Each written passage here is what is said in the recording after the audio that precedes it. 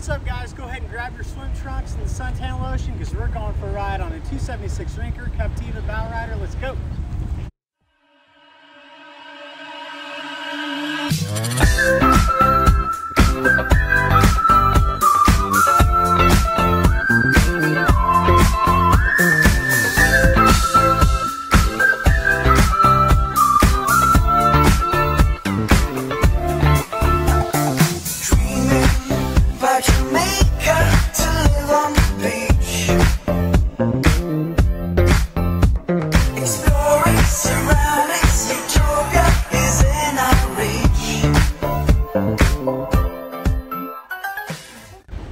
video on my YouTube channel, which is Used Boats TV. The purpose of this channel is to make a lot of training, how-to, and review videos. Pretty much anything to do with boats, boating, on the water, above the water, or underneath it, including fishing, we make videos for it. So if I provide you any value at all, please consider subscribing by clicking down below, hitting that subscribe button, following it up with a smash on that bell icon to be notified via email anytime we upload something new. So what we're about to do is go ahead and take this beautiful black 276 Rinker out on the water and show you how to operate it and show you how she runs. We're gonna go through the systems first, buttons and switches, gauges, then we're gonna drive it, then we're gonna take a look at the condition and follow it up at the end for, with some awesome drone footage. So be sure to hang around and check that out. Let's go ahead and get started. What it really means to live life golden. We're golden, baby, we're golden. They're about to see us shine. Once you get your Rinker 276 in the water, because it's got to be in the water to run, and you got your plug-in, the third thing you're going to want to do is come back here underneath the starboard side after you're facing seat and turn your battery switch to combine both batteries. The alternator is going to charge both the batteries when it's on that switch. Now, if you're going to stop and cove out, listen to the radio, just flip it over to on. That way you've isolated your systems to a single standalone battery. Speaking of which, when you're going to stop and cove out, go ahead and switch that key to the accessory, okay? Off is the only way it'll come out. On, start, Make sense? You go to start and you get the old click, click, click, switch back to combined batteries, it'll fire right up, charge them back up. From there, you just come up to the helm. And remember, this is a multi-port, direct injected, fuel injected, awesome motor. To save some time in the video, I'm gonna include some links in the description down below. If you just click down below the video description, it'll pop up. I'm gonna do the, a link to a video, the three things to do when your boat won't start. How to tie up some dock lines, how to operate tilt and trim, how to back a boat in, just stuff that will help you guys while you're out there on the water. But for now, we're neutral, kill switch is up, we know we got battery power, turn the key on, the button sounds, which means, hey, I'm getting ready to start the boat, get away from the propeller, just like that, fires right up. Now, shifting. There's a release underneath the handle. A definitive stop for forward. The Bravo 3X shifts extremely smooth. The definitive catch is nice for docking, so you don't juice it and go wrong. You don't want to do that. Neutral's in the middle. Again, you only lift up on the red handle to engage it into gear. Reverse is right here, definitive catch, throttle range beyond that. So, let's go.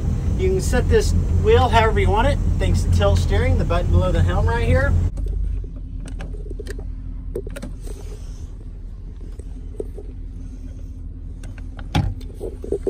Let's go ahead and run through our buttons and switches before we get it out there and open it up. We got a blower right here that ventilates the engine compartment. Our navigation lights, that's when we're driving at nighttime. That's the red and green built in and the white light built in up top. Anchor light plugs in up on top of the arch and plug So it in. have to get up.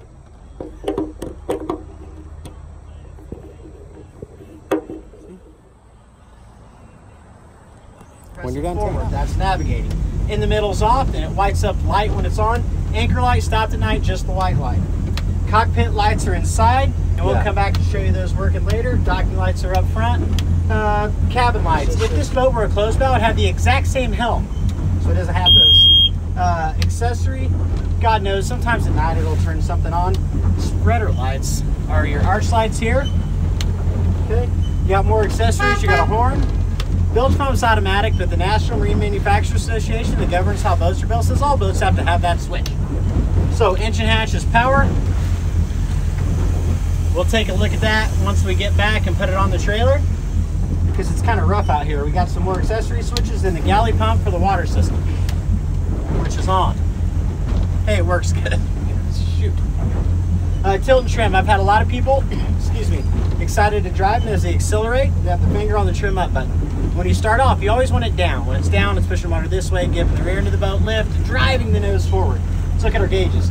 We got a quarter tank of gas, we got great volts, oil pressure, engine temp, we got our GPS here, trim gauge, depth finder, tachometer. Right here we have indicators for our trim tabs.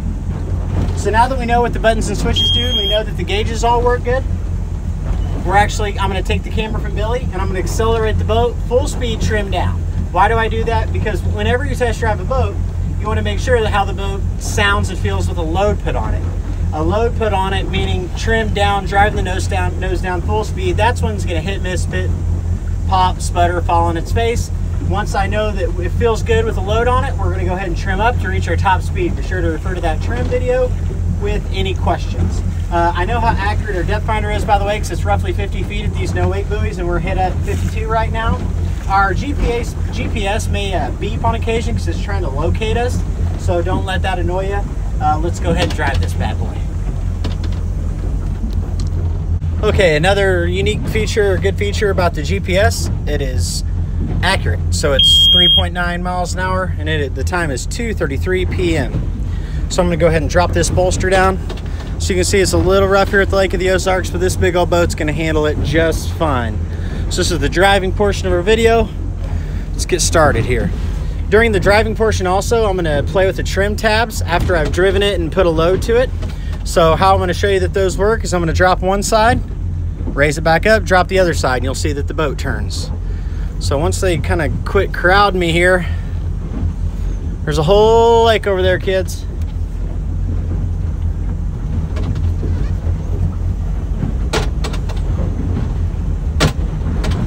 Whole lake over there, kids. You can turn a little wider. Hi. Being friendly. It's good to be friendly. I'm a salesman. Gotta be friendly. All right. Let's go. So this boat's got a lot of punch with the 8.2 and the Bravo 3X drive. Man, it turns smooth too. Woo! It sets it right on the plane. I mean, this boat runs nice and flat, and we're at only, here, let's even slow down. We can plane this bad boy out at 3,000 RPM, which is pretty impressive. So we're cruising right here with the speed of 27.5 miles an hour. We're gonna go ahead and accelerate if I can get it straight. Just gonna push it. So again, trimmed all the way down. Reaching speeds of 43, 44 miles an hour. God darn, it's rough out here. 45, 46 roughly.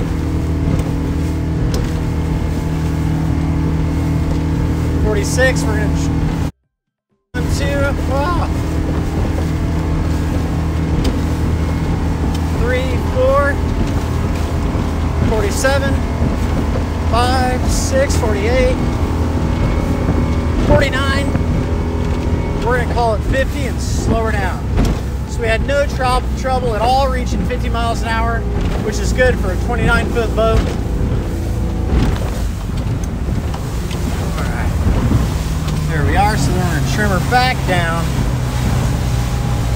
And I'm gonna hand this this to Billy. And he's gonna record me talking about the trim tabs and show you. The okay, so we know that the boat runs great. It's a little rough out here. It's still a Monday, and a lot of people will stay down on Mondays. But we hit 50 miles an hour, no problem at all. with About a quarter to an eighth of trim up on our outdrive. Now I'm gonna go ahead and put the boat on plane again. Billy's gonna record, and I'm gonna talk about how these tabs operate. So operating trim, trim tabs is very easy if you don't overthink them. Don't even mess with them until you get used to operating tilt and trim on the outdrive. Uh, otherwise, you won't know how the boat feels when it's trimmed down and you're docking functionally correctly. If that makes sense. When you learn how the boat feels and you're not, it's not doing what you want it to do, then you'll know that maybe you forgot to put your tabs up or something. So, always pick something straight in front of you before you touch them. It's pointless to turn the boat and adjust the trim tabs. They're made for lateral stability to correct out, correct the load if you got too many people on one side or another. So we're just gonna get the boat on plane here, nice and smooth, 3,000 RPM, 20 miles an hour, real comfortable cruise speed, not touching the steering wheel at all. I'm gonna pick something straight ahead of me, and I'm gonna go ahead and push one down. Whoa! they were, this one works really good. So that's very responsive to the trim tab. Her back out. Now on a day when the lake is rough like this, and we'll show you in just a minute, we get the boat going on cruise and put them both down, it'll keep that nose flat. So now let's do the other side once we're around these boats. Other side, see how significant that turning is? Ahead bring that back up. Now, this boat does have indicators, which is great when you're learning, but you really don't need them after about three or four times. It's like putting the seatbelt on your car. Don't think about it. Now let's put them both down. Just plowing through rough waves, very calm and comfortable like this. We can go anywhere today. Raise them back up.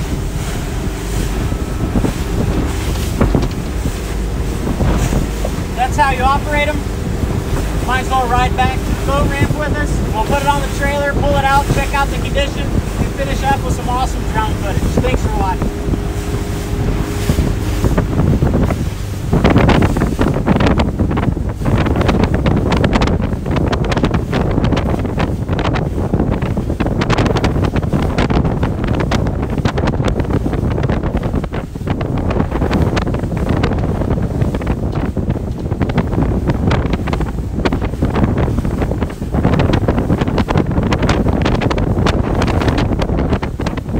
So my assessment of this model is it's in very nice condition. It's a great big bow rider for friends and family. Take a lot of people in. I sell a lot of these with 350s, 5.7 GXI Volvos, 5.7 GI Volvos, uh, 6.2 Mercs, but with the Ford 8.2. 496 is great too, but with the new 8.2, man, this boat doesn't have to work to do anything. It's just very smooth and easy to operate. I mean, you hardly have to give it any throttle, which is great. So, doesn't hit miss, spit, sputter, runs very smooth. Everything that we've touched or turned on works so far. So now we're gonna pull it out on trailer one more time and we'll check it all out. We'll see you in just a minute. Never forget when you get your boat on the trailer and you get it secured and shut off, trim it up. Now, when you do shut it off, your gauges quit working, so remember that. So we're gonna go ahead and trim this up and get yanked Fall up. up there. It's So I'm already recording. Yep. So once you have, so once you have, we're gonna go ahead and take this boat out for a ride and show you how it works and how everything operates. Oh. Your 276 Rinker out on the water, you first start by turning your battery switch on.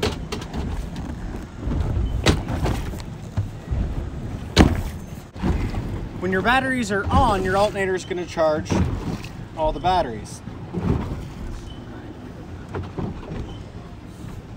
Combine batteries. Okay. All right, we'll start all over. Okay. Please. So if I provide you any value at all, please consider subscribing by clicking down below, hitting that subscribe button, following it up with a smash on that bell icon to be notified. Let's go ahead and take a look at the gel coat condition as we get her pulled out of the water. So the rub rail, whole sides is beautiful and stunning and stunningly beautiful. We have a little nick right here in the pinstriping, not the gel coat. So that's just like white tape, essentially, so to speak. So the rub rail's nice, drop down whole sides. So we got our neoprene bow roller. Now this boat is gonna leave here with a trailer. So we're gonna check out the trailer also. Coat below the rub rail is awesome. Got another little nick in the sticker. Now again, these all come off. You can always replace them or just take them off and leave them off. Just pull off the sunglasses so I don't miss anything. Got a good wax, has a nice shine to it. Trailer's in great shape, no rust or crust, anything crazy. It's got the vault oil sealed axles. Maintenance free. It's got a six inch steel tube channel, custom made for it by Phoenix Trailers. Don't know a lot about them, but it sure looks expensive. Two and five sixteenths inch ball. Our docking light housings. Dropping down to the hull, so the reverse chine looks great, lifting strakes look great, and the keel's beautiful, along with the stem. So that's port side. We're gonna hop over to starboard. Let's go ahead and drop down, do this in reverse. So our reverse chine looks great, lifting strakes, keel, and stem look beautiful. Above the rub rail now. Starboard side, nice shine. So you can see that it's shiny. Blower vent covers, that's a nice new design. A few little nicks back here just on the pinstripe. And then there's a little rub, dock rub kind of on the stainless part. You can always try to rub that out with stainless steel. Makes more sense to do that than to try to replace it. So dropping down whole sides is beautiful. Very, very minor nick here. Right through here. That's about the only spot I've seen. One thing I hate about these humid days is sometimes it messes with my camera exposure. But there she is. Let's go back and look at that outdrive. Should have planned that out a little better, shouldn't I? So you got the big extended swim platform that covers up the outdrive. But platform is beautiful. Now we can drop down take a look at the Bravo 3X drive. Props are in beautiful shape. Those are 24 pitch. Bravo 3X with a 8.2, 380 horsepower Mercury.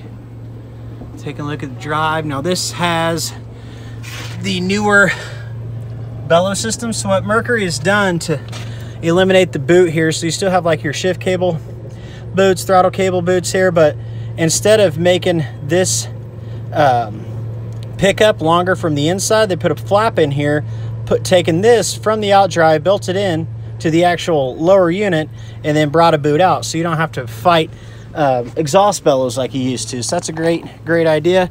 Trim tabs are integrated up underneath the hull. They both work, as you know. Time for the interior, Look baby. at the interior condition. Starting with the vinyl. Aft, in good shape. Got storage. Right there's your transom shower that pulls out from the cap there. It's not missing any carpet. Now for skiing, kneeboarding, wakeboarding, etc., use a toe point there. For tubing, use the little one back here. It puts thousands of pounds of pressure on that. So more storage. So walk through. Great big old storage tub. If your batteries were ever to go dead, you could actually take this access point or circle. It's an access point with a circle to pull the pin for the hatch so you can raise it up manually. Just lift it. So here's your filler cushion. It's in great shape.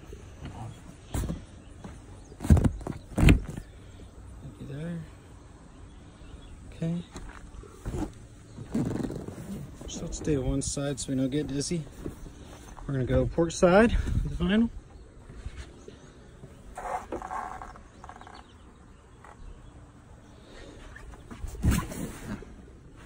So you got filler cushions, original manuals, table posts. The light that plugs in the top, which is the anchor light.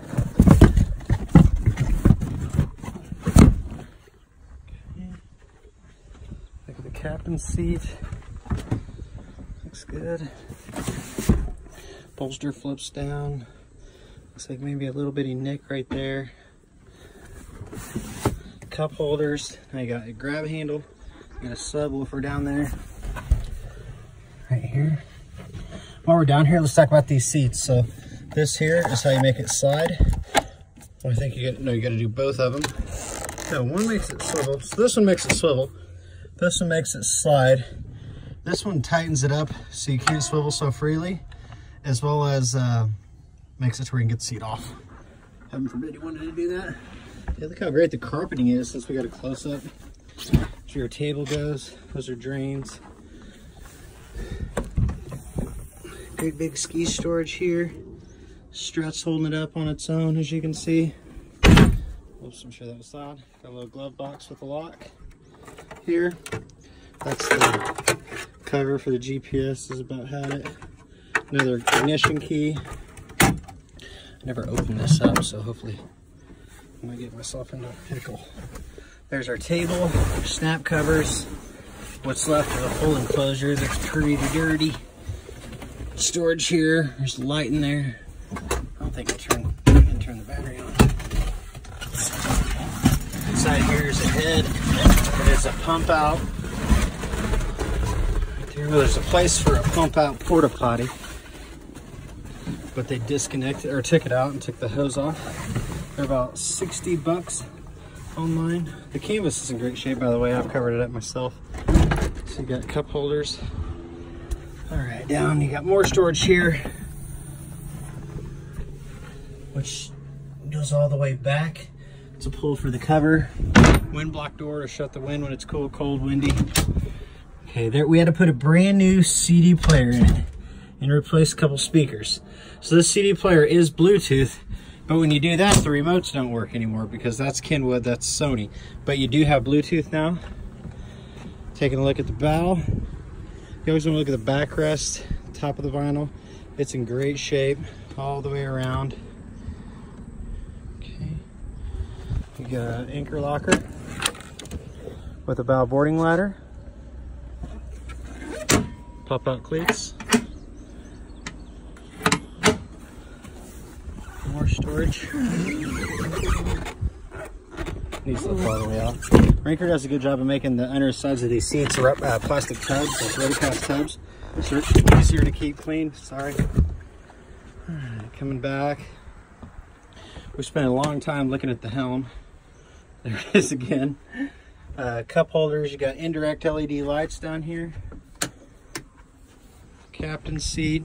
Same thing again with the adjustments underneath it. Got the flip up or down bolster right there. This is the butt seat that fills in the back. Most people never use it. It just goes right there. All right. So during our test drive, that's a dry storage box. But During our test drive, I hit the water system button and it works. But the problem is I had the lid shut. So I made a little mess. I had to wipe down. Need to do a better job. Trash can, and then this pulls out of here. So you can kind of tuck your bag through the hole. You also plug in like a phone charger, blender, etc. There's another LED light. Great big nice storage compartment there. Let's see what storage we got underneath this seat. More tub storage. Okay, looking at the arch. It's got speakers up here. I never turned the radio on, so I better do that.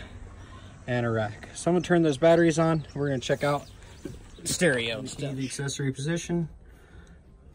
Let's find find a song or radio. Radio. If you wanna know the truth, how I feel about you tonight. If you are my Speakers. I just wanna hold you. I can hear these. If you my last night, hell, we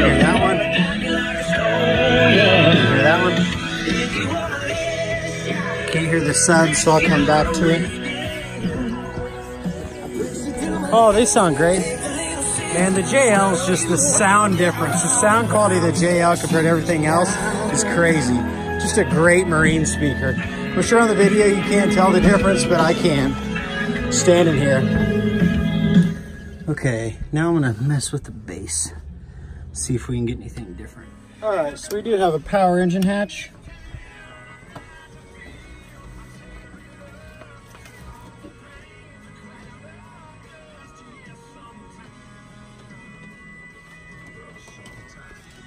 So it's got the 8.2 mag, engine compartment's nice and clean. There's our water tank with the antifreeze in it. Always keep a quart of gear lube with you in your storage container there. 380 horsepower, runs amazing. Is damn clean in here. Well, there she is.